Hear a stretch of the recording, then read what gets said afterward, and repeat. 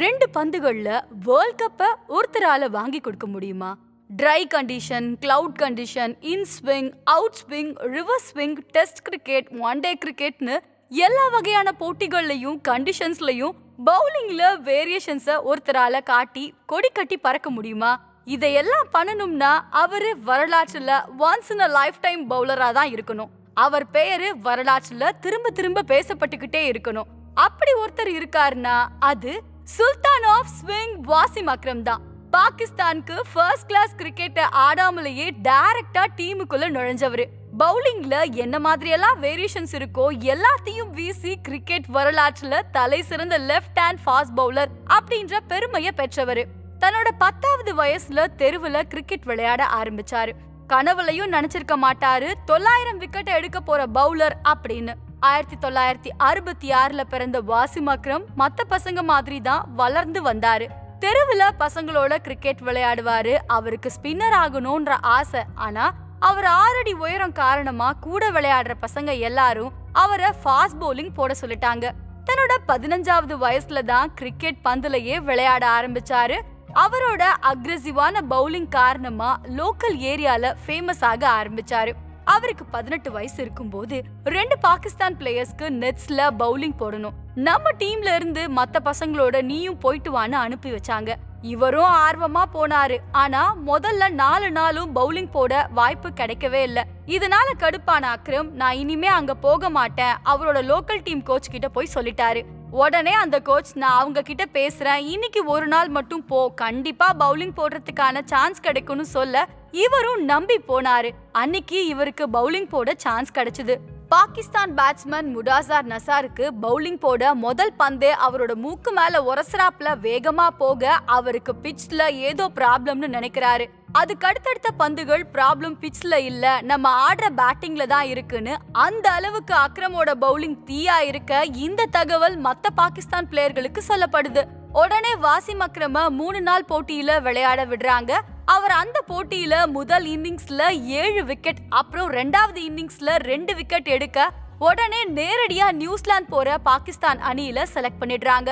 ஆயிரத்தி தொள்ளாயிரத்தி எண்பத்தி நாலுல நியூசிலாந்து கூட ஒன் டே மேட்ச்ல டெபியூ ஆகுறாரு வாசு மக்ராம். அறிமுகமான மூணாவது போட்டியிலேயே ஆஸ்திரேலியா கூட ஜாம்பவான் பேட்ஸ்மேன்களான ஆலன் பார்டர் டீன் ஜோன்ஸ் போன்றவங்களை காலி பண்ணி அஞ்சு விக்கெட்டை எடுத்து தன்னோட கால் தடத்தை அழுத்தமா பதிக்கிறாரு உலக கிரிக்கெட் அரங்குல ஆயிரத்தி தொள்ளாயிரத்தி எண்பத்தி அஞ்சுல நியூசிலாந்து கூட டெஸ்ட் போட்டிகள்ல அறிமுகமானவர். தன்னோட ரெண்டாவது போட்டியிலேயே பத்து விக்கெட்டை எடுத்து எல்லாரையுமே ஆச்சரியப்படுத்தினாரு. அவர் படிச்ச காலேஜ் டீம்ல கூட ஆடாதவரு எப்படி இன்டர்நேஷனல் மேட்ச்ல தீயா பவுலிங் போடுறாருன்னு எல்லாருமே புகழ்ந்து பேச ஆரம்பிச்சாங்க.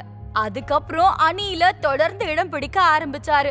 ஆயிரத்தி தொள்ளாயிரத்தி எண்பத்தி ஏழாம் ஆண்டு உலக கோப்பை முதன் முதலா சவுத் ஏசியாவில் நடந்துச்சு.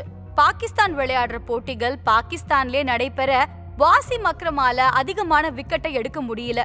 ஏழு மேட்ச்கள் விளையாண்டவரு வெறும் ஏழு விக்கெட்டுகள் மட்டும்தான் எடுத்தாரு. ஆயிரத்தி தொள்ளாயிரத்தி எண்பத்தி எட்டுல இவர் விளையாடுற ஆட்டத்தை பார்த்து லஞ்சாஷிர் இங்கிலாந்து கண்ட்ரி கிரிக்கெட் அணிக்கு ஓவர்சீஸ் பிளேயர் ரோல்ல விளையாட முடியுமான்னு கேட்டாங்க. வாசிமும் ஒத்துக்கிட்டாரு.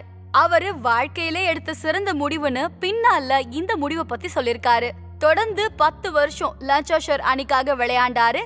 அங்கதான் தன்னோட ஸ்விங் பந்து வீச்ச மேம்படுத்திக்கிட்டாரு. வெளிநாடுகள்ல எப்படி பந்து வீசணும் அப்படின்றத இந்த இடத்துல தான் நல்லாவே கத்துக்கிட்டாராம். லஞ்சாஷர் ஆடியன்ஸ் இவர் பவுலிங் போடும் போதெல்லாம் வாசிம் ஃபார் இங்கிலாந்துன்னு பாட்டே பாடுவாங்க. அந்த அளவுக்கு இவர் ரொம்பவே பிரபலமானாரு. நிறைய கப் வின் பண்ணி கொடுத்தவரு கடைசியா ஆயிரத்தி தொள்ளாயிரத்தி தொண்ணூத்தி எட்டுல கேப்டன்சி பண்ணும்போது இசிபி டிராபிய ஜெயிச்சு கொடுத்தாரு. அக்ரம் தன்னோட குருநாதரா நினைக்கிறது இம்ரான் கான தான். பாகிஸ்தான் கேப்டனா இருந்த இம்ரான் கான் தான் தான் கத்துக்கிட்ட வித்தைகளை எல்லாம் அக்ரம்க்கு சொல்லி கொடுத்துக்கிட்டே வர இவரும் நல்லாவே ஷைன் பண்ணிக்கிட்டே வந்தாரு பவுலிங்ல. ஆயிரத்தி தொள்ளாயிரத்தி எண்பத்தி ஒன்பதுல ஷார்ஜாவில் வச்சு நடந்த வெஸ்ட் இண்டீஸ் உடனான ஒன் டே போட்டியில அஞ்சு விக்கெட் ஹால் எடுத்தவரு ஆட்ரிக் விக்கெட்டும் எடுத்தாரு. மூணு விக்கெட்டும் கிளீன் போல்டு ஆயிரத்தி தொள்ளாயிரத்தி தொண்ணூறுல திரும்பவும் ஷார்ஜால வச்சு ஆஸ்திரேலியா கூட நடந்த ஒன் டே போட்டியில மறுபடியும் ஒரு ஹாட்ரிக் விக்கெட்டு மறுபடியும் மூணு விக்கெட்டும் கிளீன் போல்டு ஆயிரத்தி தொள்ளாயிரத்தி தொண்ணூத்தி ரெண்டு உலக கோப்பை வாசிம் அக்ரம் என்ற பெயரை உலக கிரிக்கெட் சரித்திரத்துல பொன் எழுத்துக்களால எழுதப்பட்டது. டாக்டர்ஸ் சம்டைம்ஸ் ஐசியூல பேஷண்ட் இருக்கும்போது அவங்க சொந்தக்காரங்க கிட்ட ஏதாவது மிராக்கிள் நடந்துச்சுன்னா பிழைக்க வாய்ப்புன்னு சொல்லுவாங்க. அதே மாதிரி தான் நைன்டீன் நைன்டி டூல நடந்த வேர்ல்ட் கப்லயும் பாகிஸ்தானோட நிலைமை இருந்துச்சு. லீக் போட்டிகள்ல அடுத்தடுத்து தோல்வியின் காரணமா சீரீஸை விட்டே வெளியே போக வேண்டிய சூழ்நிலை உருவாயிருந்துச்சு. எல்லாருமே அவுட்னு நினைக்க அதிசயமா உயிர் பிழைச்சு வந்த பாகிஸ்தான் மேல கொஞ்சம் கொஞ்சமா ஏறி இறுதி போட்டிக்கு தகுதி பெற்றுச்சு. பலம் வாய்ந்த இங்கிலாந்து கூட ஃபைனல் பாகிஸ்தான் சமாளிக்குமா இல்ல இங்கிலாந்து ஜெயிக்குமான்னு தான் ஊரெல்லாம் ஒரே பேச்சா இருந்துச்சு. முதல்ல ஆடின பாகிஸ்தான் இருநூத்தி இருபது ரன்கள் எடுக்கிற மாதிரி இருக்க வாசிம் அக்ரம் உள்ள வந்து அதிரடியா அடிச்சு நொறுக்கி பத்தொன்பது பால்லயே முப்பத்தி மூணு ரன் அடிச்சு டீம் ஸ்கோர இருநூத்தி நாற்பத்தொன்பதுக்கு கொண்டு போயிட்டாரு. அந்த முப்பது ரன்கள் வித்தியாசம் பாகிஸ்தானுக்கு பலமான நம்பிக்கையை கொடுத்துச்சு. இங்கிலாந்தோட நம்பிக்கை நட்சத்திரமான இயன் போத்தம் ஆடிட்டு இருக்கும்போது வாசிம் அக்ரம் கையில கேப்டன் இம்ரான் கான் கொடுத்தாரு. அவுட் ஸ்விங் வீசி கீப்பர் கோச்சாக வச்சாரு அக்ரம். ஒரு மலைய சாய்ச்சிட்டாங்க. இன்னொரு மலையான ஆலன் லேம்ப சாய்க்கணும். அப்படி சாய்ச்சிட்டா இங்கிலாந்து அடிச்சு கப்ப தூக்கிடலாம். இம்ரான் கான் திரும்பவும் நம்பினது அக்ரம மட்டும்தான். தன்னோட போர்ப்படை தளபதியா அக்ரம நினைச்சாரு. அவர் கையில பந்து கொடுத்து ரிவர்ஸ் ஸ்விங் போட சொன்னாரு. அக்ரம் போட்ட ரிவர்ஸ் ஸ்விங்ல அடுத்தடுத்து ரெண்டு விக்கெட் அவுட் ஆக்கினாரு.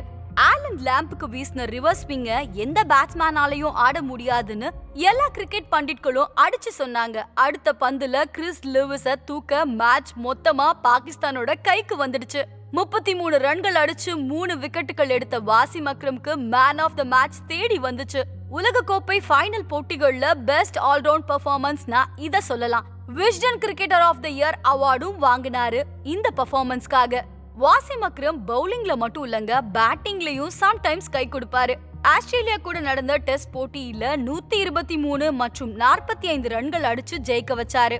ஜிம்பாப்வே கூட நடைபெற்ற டெஸ்ட் போட்டியில எட்டாவது பேட்ஸ்மேனா இறங்கி இருநூத்தி ஐம்பத்தி ஏழு ரன் அடிச்சிருப்பாரு. இன்னைக்கு வரைக்கும் இந்த ரெக்கார்டை யாராலையுமே பிரேக் பண்ண முடியல.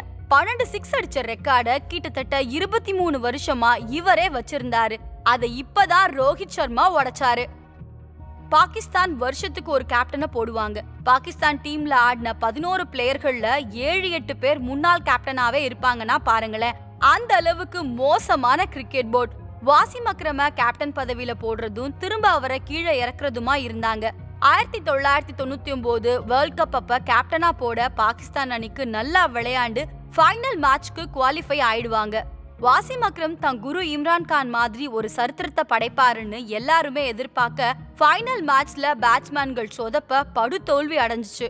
பாகிஸ்தான் உடனே மேட்ச் ஃபிக்சிங் பிரச்சனையை கிளப்பி வாசிம் அக்ரம மீண்டும் கேப்டன்சி பதவியில இருந்து தூக்கிட்டாங்க. ஆனா இந்த குற்றச்சாட்டு இன்னுமே நிரூபிக்கப்படல. பாகிஸ்தானோட பவுலிங் ரிவர்ஸ் ஸ்விங் கோட்டன்னு சொல்லலாம். முகமது அப்பாஸ் இம்ரான் கான்ல ஆரம்பிச்சு வாசிம் அக்ரம் வாக்கர் யூனஸ் அக்தர் அமர்னு அடுத்தடுத்த தலைமுறைக்கு ரிவர்ஸ்ல ஸ்விங் மெத்தட கடத்திக்கிட்டே வராங்க.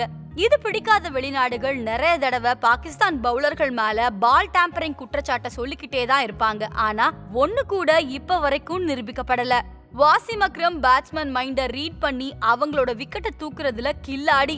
அது டெஸ்ட் மேட்சா இருக்கட்டும் இல்ல ஒன் டே மேட்சா இருக்கட்டும் புது பந்துல ஸ்விங் ரெண்டு பக்கமும் போட்டு விக்கெட் எடுப்பாருன்னா பழைய பந்துல ரிவர்ஸ் ஸ்விங்க போட்டு விக்கெட்டை தூக்குவாரு. இந்த திறமையால தான் அவரால தொடர்ந்து விக்கெட்டுகளை எடுக்க முடிஞ்சது. பல சாம்பியன் பேட்ஸ்மேன்கள் இவர் பந்துல ஆடுறதுக்கு கஷ்டப்பட்டாங்க. ரிக்கி பாண்டன் சச்சின் டிராவிட் எல்லாமே அக்ரம் பவுலிங்க ஆடுறது ரொம்பவே கஷ்டம்னு சொல்லிருக்காங்க. தொடர்ந்து நல்லா விளையாடிட்டு இருந்த வாசிம் அக்ரம்க்கு இருபத்தி ஒன்பது வயசுலயே அதிர்ச்சிகரமா சுகர் வந்துடுச்சு. தினமும் பத்து கிலோமீட்டர் ஓடுற ஒரு ஸ்போர்ட்ஸ் மேனுக்கு எப்படி சுகர் வரும்னு அக்ரமுக்கு பயங்கர சந்தேகம் அதிர்ச்சி மனக்குழப்பம். அப்பயும் டீமுக்கு கேப்டனா வேற இருந்தாரு. ஒரு மாசத்துல திரும்பவும் நிறைய சைக்கலாஜிக்கல் அட்வைஸ்க்கு அப்புறமா மேட்ச் விளையாட வந்தாரு. மேட்ச் ஆடும் போதெல்லாம் இன்சுலின் ஊசி போட்டுக்கிட்டு தான் விளையாட வருவாரு. டெஸ்ட் மேட்ச்னா லஞ்ச் டைம்ல கூட ஊசி போட்டுக்கிட்டு தான் திரும்பவும் உள்ள வருவாரு. பல வருஷம் இன்சுலின் மருந்த கூடவே தூக்கிக்கிட்டு தான் கிரிக்கெட் விளையாட உலகத்தை சுத்தி வந்தாரு. அதுல சக்சஸ்ஃபுல்லாவும் வந்தாரு. நூத்தி ஐம்பது விக்கெட்டுகளை சுகர் வந்ததுக்கு அப்புறமா தான் எடுத்திருக்காரு. ரெண்டாயிரத்தி ரெண்டு பங்களாதேஷ் கூட நடந்த மேட்சோட தன்னோட டெஸ்ட் கிரிக்கெட் வாழ்க்கைய முடிச்சுக்கிட்டாரு வாசிம் அக்ரம். தொடர்ந்து ஒன் டே போட்டிகள்ல விளையாண்டாரு.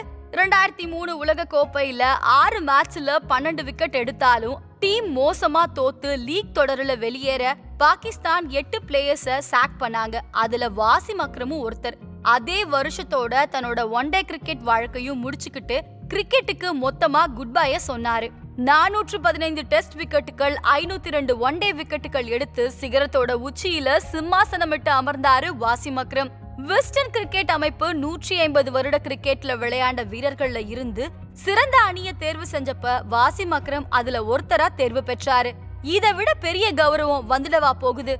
தன்னோட கிரிக்கெட் ஓய்வுக்கு அப்புறமா சர்க்கரை நோய் பற்றி நிறைய அவேர்னஸ் ப்ரோக்ராம்ல பங்கேத்துக்கிட்டு விழிப்புணர்வை ஏற்படுத்திட்டு வராரு. ஐபிஎல் கொல்கத்தா நைட் ரைடர்ஸ் அணிக்கு கங்குலியோட முயற்சியின் மூலம் பவுலிங் கோச்சா வந்தாரு.